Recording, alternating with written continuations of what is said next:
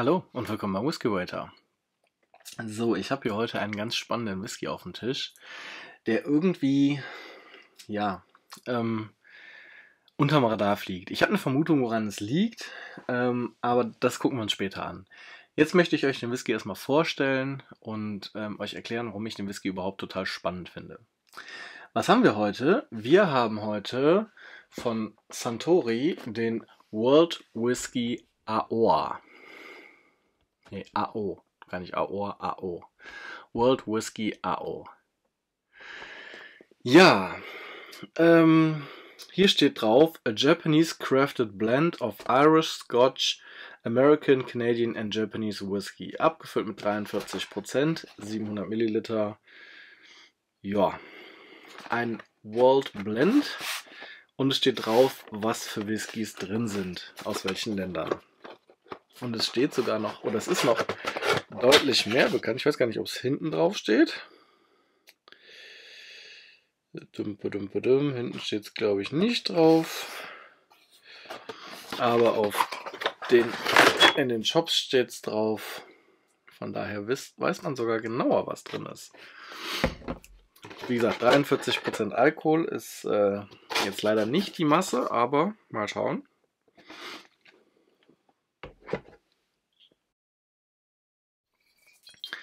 Ähm, so, was ist drin? Es ist drin ähm, rauchiger Single Malt aus der Ardmore Distillery sowie Glengarry Whisky.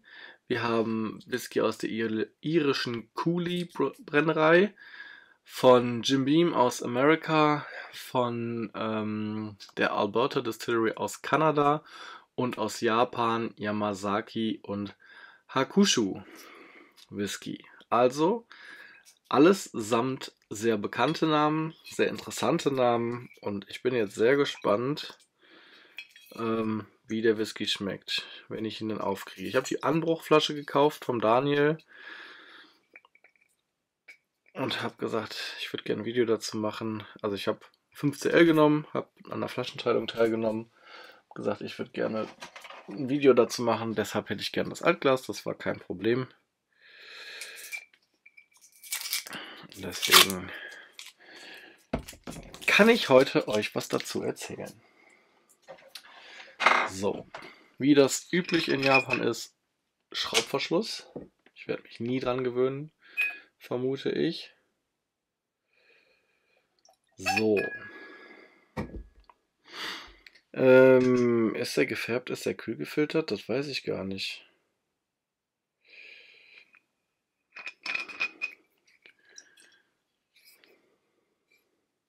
Es steht nichts drauf. Was ich cool finde, ist, dass das Etikett hier so um die Ecke geklebt ist und dass der Whisky, ich weiß nicht, ob man das sehen kann, ich versuche das mal. Das ist so ein bisschen die Flaschenform von einem Diamanten. Könnt ihr das sehen? Ich hoffe. Ähm, macht optisch, macht das schon was her. Das Blau soll so ein bisschen an das Blau der Ozeane erinnern, ähm, welches unsere Kontinente miteinander verbindet.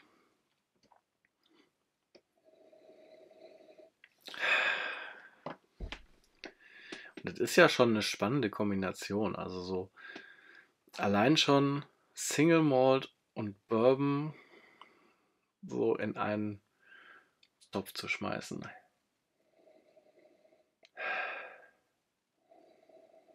Und ich behaupte mal, die haben hier auch nicht ihre schlechtesten Fässer benutzt.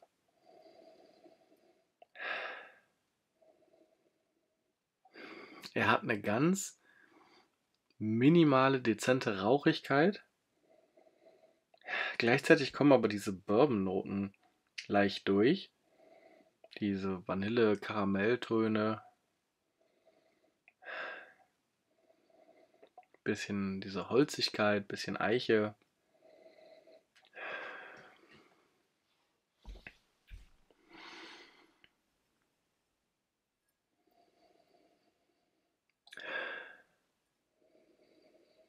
Er wirkt ein bisschen spritzig in der Nase. Also er hat irgendwie auch was Zitroniges, wie wenn man wirklich so eine Zitrone in Hälfte schneidet und die eine Hälfte dann irgendwie auspresst oder sowas. In Kombination mit dieser leichten Holzigkeit.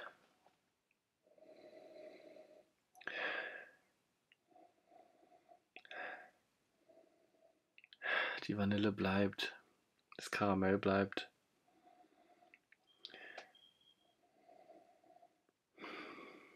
Leichter Rauch. Ich möchte ihn einmal auf der Handfläche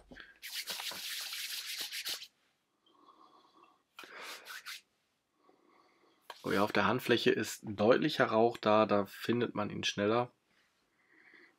Sehr schöne Rauchnote. Typisch Ardmore.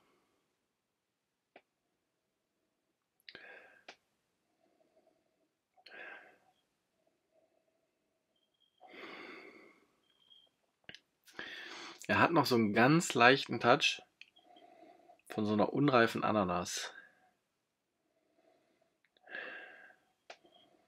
Und vielleicht so ein bisschen ähm, Physalis noch.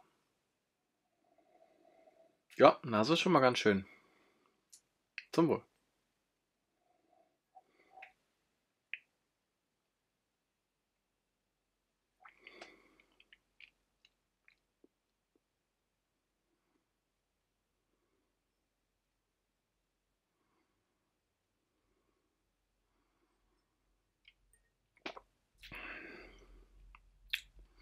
Weiß nicht, ob ihr das sehen könnt, der zieht herrliche Lecks. Der ist richtig schön ölig. Und das bestätigt sich sofort im Geschmack. Der ist total angenehm, der ist richtig schön ölig. Ähm, schönes Mundgefühl, schöne Textur. Dazu dieses Mühe an Rauchigkeit, gepaart mit äh, ein bisschen Eiche, ein bisschen Tannine, einer ganz leichten Pfeffernote und gleichzeitig aber diesem typisch japanischem Charakter, dieses weiche, harmonische, ausgeglichene. Lecker.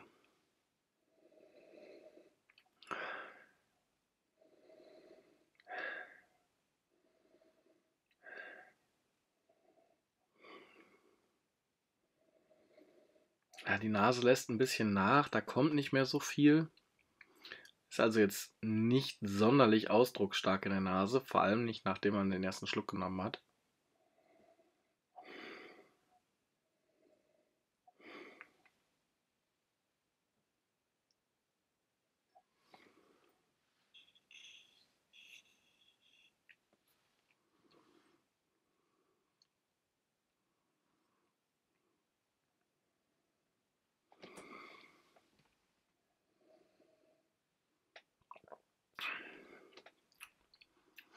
Also dieses Spielen mit der leichten Rauchigkeit, das ist wirklich schön.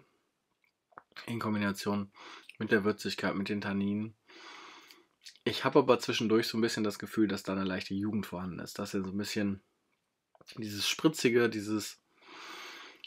Ja, da ist was Jugendliches dabei. Da ist was. Vielleicht ein Ticken Metallisches sogar dabei. Das stört ein bisschen.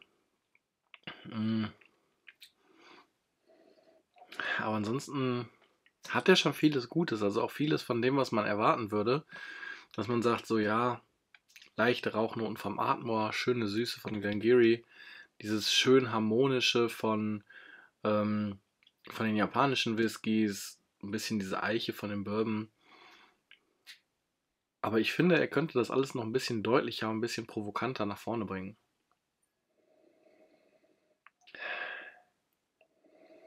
Vielleicht fehlen ihm auch einfach 3-4 Prozent.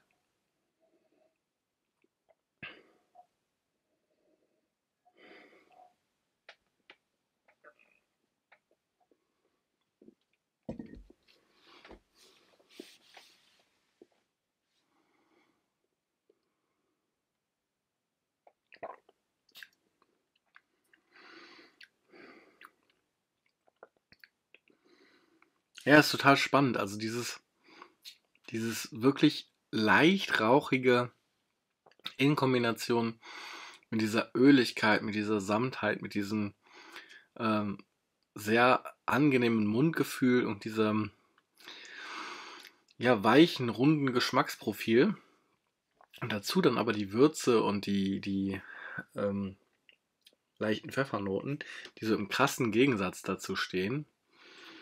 Und die Tannine machen den Whisky rund, aber gleichzeitig wieder unrund. Also eine ganz spannende Fassreifung. Lecker. Nichts für jeden Tag, aber lecker. Aber was mich bei diesem Whisky total abschreckt, ist der Preis. Also es ist ein Blend aus, was haben wir gesagt, 2, 4, 6, 7 Brennereien, meine ich.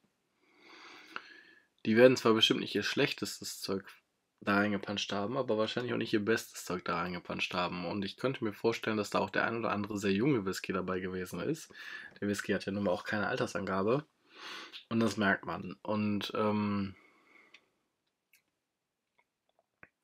es gibt immer wieder Menschen, die extreme Vorurteile gegenüber Blends haben. Das kann ich nicht ganz nachvollziehen, weil Blenden eine sehr hohe Kunst ist und es durchaus wirklich, wirklich gute Blends gibt. Ähm, und der bestätigt das in vielen, vielen Punkten, weil da ist vieles von dem drin, was ich von dem Whisky ursprünglich erwartet habe. In dieser Kombination aus sieben Brennereien aus allen Herren Ländern der Welt.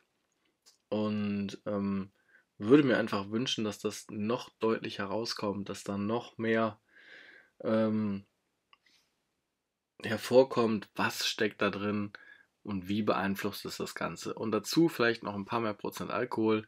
Die 43 Prozent sind ein bisschen dürftig. Und wenn ich dann den Preis im Hinterkopf behalte, 98,90 Euro, also fast 100 Euro die Flasche. Boah, ne. Also viel, viel, viel zu teuer. Ja, ich weiß, Hakushu und speziell Masaki sind alles andere als günstig. Glengarry auch jetzt nicht unbedingt. Ähm, nichtsdestotrotz, der Preis ist absolut überzogen und rechtfertigt in keiner Weise den Geschmack. Für mich wäre das, glaube ich, tendenziell so ein 40 bis 50 Euro Whisky. Aber keine 100 Euro.